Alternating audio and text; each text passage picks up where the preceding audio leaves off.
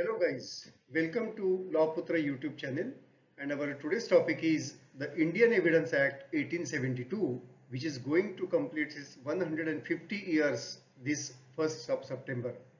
Today we will discuss about the leading questions which, which are covered under section 141 to section 143.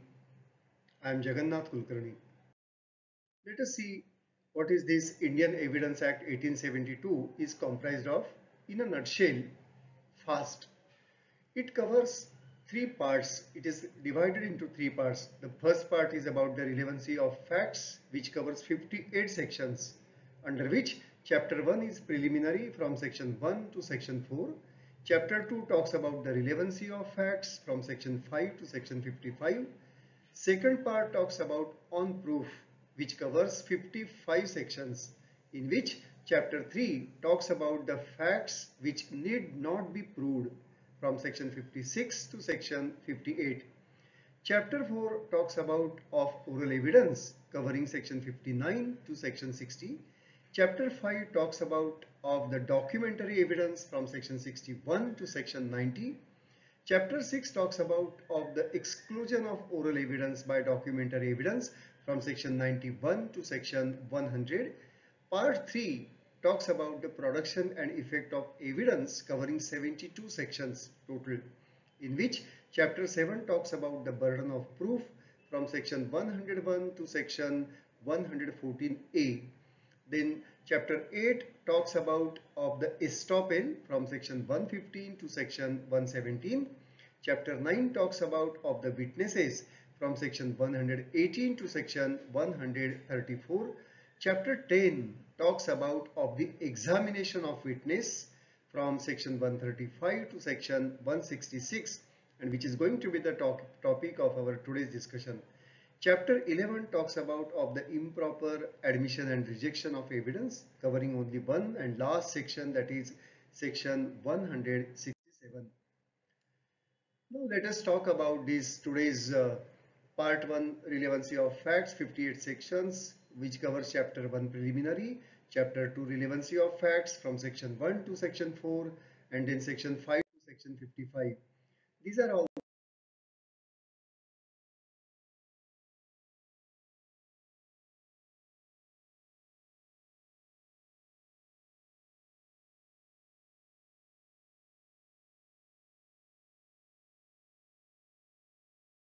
parts just we have discussed right now.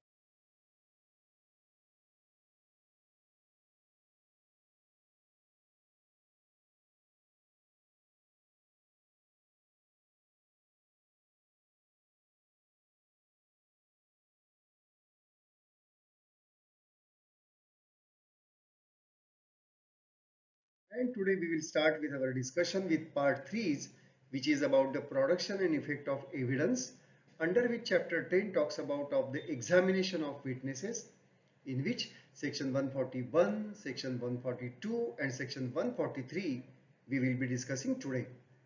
Section 141 talks about the leading questions. We'll discuss about its meaning, examples and what the case laws are. Section 142 talks about as to when these questions must not be asked.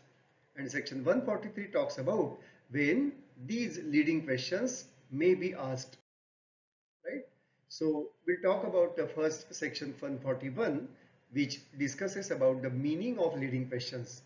So the section says any question which is suggesting the answer which the person putting it that is putting that question wishes or expects to receive is called a leading question. So this is very simple definition of leading question. A question which itself contains the answer can be called as the leading question. Now let us see what the jurists talk about it. We'll discuss about the Bentham who says it is a question which is indicated to the witness in a manner that the real or supposed fact which the examiner expects and desires to have confirmed with the witness. This is what Bentham talks about the leading question. And now let us see what Salmond says. He says it is a question which is asked which assumes the presence of the fact in issue which is most important concept in the Evidence Act and which suggests the desired answer. So these are the two jurists which talks about the leading questions meaning. There is one more given by Lord Ellenborough. He says it is the type of question which directly or indirectly hints the answer which needs to be given by the witness which is framed by the examiner. So it is the examiner of the witness who frames such question, leading question. And this is the leading question which directly or indirectly hints the answer.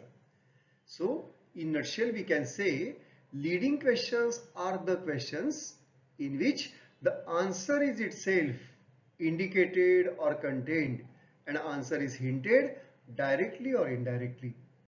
Now let us see what the what are the examples of the leading questions. Very simple. The question like don't you live in some place say Kanpur obviously it, the anyone can know that uh, the examiner or the questioner wants to have the answer as Kanpur. There can be the question like is Ahmed not your friend? Obvious he will say yes he's Ahmed is my friend. Or didn't you belong to Orissa or any place any state? Obviously the answer hinted is Orissa. So these are the types of leading questions. Now let us see next section that is section 142 which talks about when such questions leading questions must not be asked. Now let us see. Leading questions must not be asked when when it is objected to by the adverse party right? Now who can be the adverse party depends. Now for the examination in chief which is conducted by the person who is calling the witness that is the examination in chief then the adverse party will be obviously the other party. If such other party, the adverse party, objected to such questions, they must not be asked.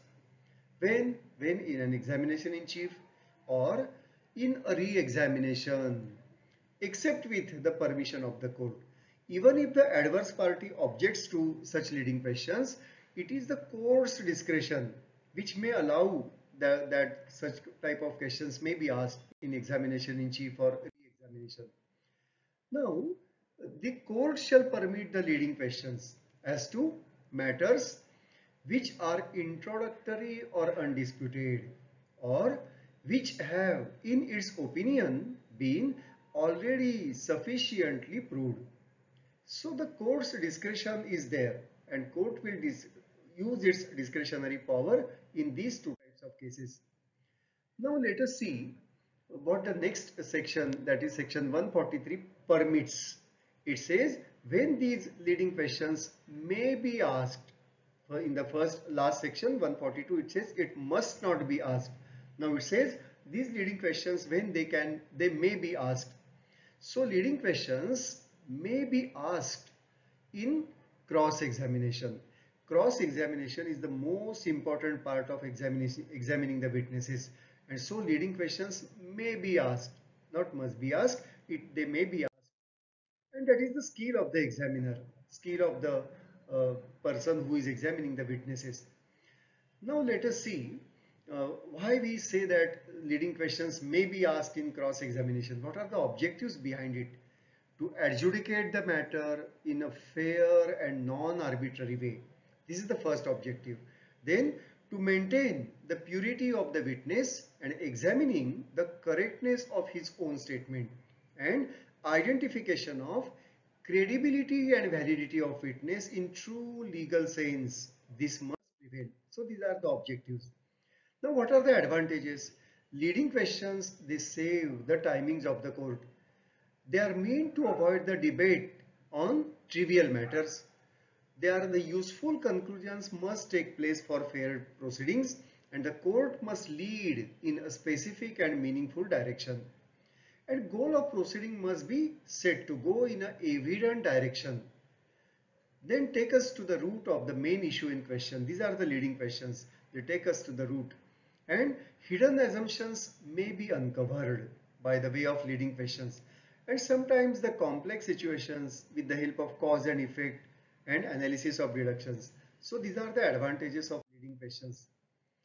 Let us see the case laws. We will discuss about three case laws. The first case talks about the Varkey Joseph versus State of Kerala. The court said it is not permissible that questioner is asking questions in a way that witness can answer in yes or no only. This enabling the witness to elicit such answers.